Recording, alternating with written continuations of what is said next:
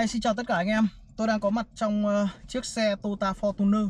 Đây là phiên bản có giá bán rẻ nhất của dòng Fortuner tại Việt Nam. Đó chính là Toyota Fortuner số sàn một cầu máy dầu. Và rất nhiều anh em có chê trách về cái việc mà nội thất của chiếc Fortuner này nó không khác gì xe tải cả. Thì có lẽ là hôm nay tôi sẽ làm một cái video này Để uh, cho anh em nhìn tổng quan hết Xem nó có thực sự là nội thất của một chiếc xe tải không nhá. Bây giờ thì uh, rồi tôi mời anh em chúng ta hãy cùng ờ, xem thử ngay bây giờ. Đây ạ, về thiết kế bên ngoài. Chung về cơ bản thì Fortuner là một chiếc xe khá là bắt mắt. Đó. Kể cả là số sàn, số tự động, bản thấp hay bản cao Thì tổng thể thiết kế bên ngoài về kích thước, form dáng Chúng ta cũng giống hệt nhau nhá. Nó chỉ có một số cái điểm nó khác biệt chút thôi. Ví dụ tại cái vị trí đèn gầm sương mù này Thì với phiên bản số sàn một cầu này Chúng ta sẽ được sơn đen các phiên bản khác thì được uh, mạ chrome.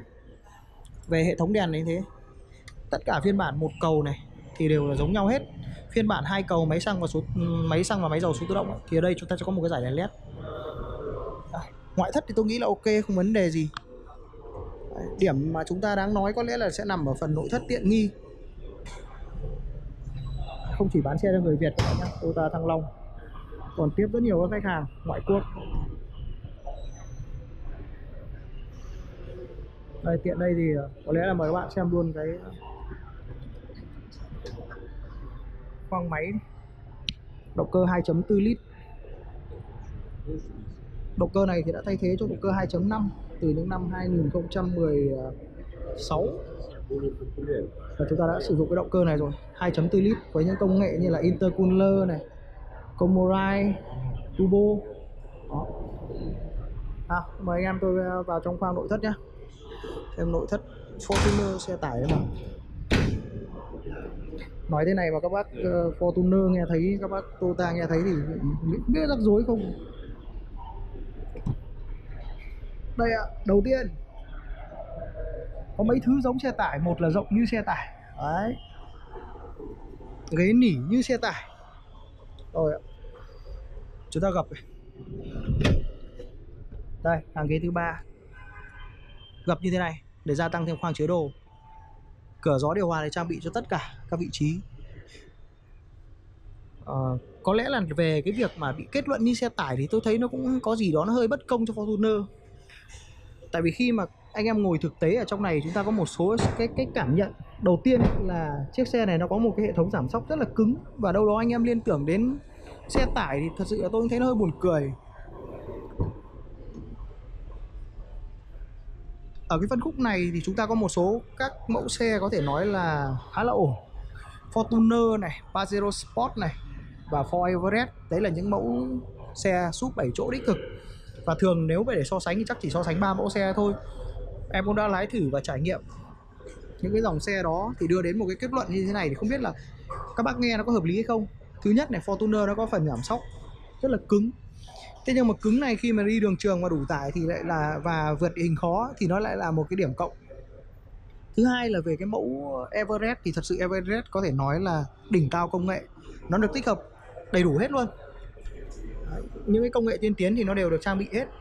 Nhưng mà nó có là tức là cái cái giảm sóc à, của nó ấy thì nó rất là êm. Nó êm nhưng mà nó lại có bị dao động theo phương ngang mà nhiều anh em trong làng xe thì người ta nói là tròng trành ấy. Pajero Sport thì có lẽ là hệ thống giảm sóc là ổn nhất nó không giống xe tải một tí nào luôn, rất êm. Đây nội thất của Fortuner thì anh em nhìn nhưng anh em nào kết luận là Fortuner số sàn nó giống xe tải, giống ở cái bộ ghế này chăng? Hay là cái giảm sóc cứng? Còn đây, bọc da rồi những cái chi tiết này đều bằng da hết này. Đấy. da rồi màn hình DVD số sàn cũng được bọc da đầy đủ. Điều hòa thì là vẫn là điều hòa chỉnh cơ thôi. Hệ thống lái thủy lực. 7 túi khí cân bằng điện tử hỗ trợ khởi hành ngang dốc và kiểm soát lực kéo. Không biết là anh em cần gì hơn ở một mẫu xe như này nữa. Chiếc Fortuner này thì đang được bán rất rẻ. Niêm yết là 1 tỷ 033 nhưng mà giá bán thực tế ở thời điểm hiện tại có lẽ chỉ rơi khoảng tầm 9 năm rưỡi. Đấy, chúng ta ngắm lại tổng thể một lần nữa đi. Chiếc Fortuner này thì Tota Toyota vẫn bán rất tốt cho những đơn vị kinh doanh vận tải. Họ cần một mẫu xe 7 chỗ chạy cho văn phòng chạy cho công ty nước ngoài có một sự an toàn cao, tiết kiệm nhiên liệu và rất là bền. Giá thuê khô của Fortuner ờ, ngoài miền Bắc thì đang dao động khoảng tầm 40 triệu 45 triệu một tháng. Không biết các anh em ở trong Nam với lại trong khu vực miền Trung thì giá thuê như nào? Anh em chia sẻ chút để cho mọi người tính toán xem có nên mua mẫu xe này chạy dịch vụ hay không. Mua một chiếc xe tải. Nghe xe tải buồn cười quá anh em nhỉ? Tôi thấy Fortuner này đẹp mà. Thiết kế rất ổn luôn. Nhìn từ góc độ nào thấy đẹp? Mở khoang nội thất ra thì cũng có những điểm để chê, nhưng mà cũng vẫn có những điểm để khen, bởi vì khoang của nó rất là rộng. Hành khách các thứ ngồi thoải mái, dễ gập ghế này để gia tăng thêm khoang chứa đồ. Và Fortuner thì vẫn là chiếc súp ăn khách nhất ở thị trường Việt Nam. Tháng vừa rồi cũng bán hơn 1.000 xe, trong đó chủ yếu là các anh em khu vực phía Nam người ta lựa chọn rất nhiều. Đâu đó khoảng hơn 600 xe, còn 400 xe còn lại thì chia cho miền Bắc và miền Trung. Hiện tại chiếc xe này đang đứng niêm yết là 1 tỷ 033 triệu anh em nhé. Mọi thông tin chi tiết về giá bán và thủ tục trả góp thì ờ, anh em vui lòng liên hệ trực tiếp với hotline mà tôi đã đính kèm trên video. Xin chào, xin cảm ơn và hẹn gặp lại quý bạn ở trong những cái video clip tiếp theo. Xin chào.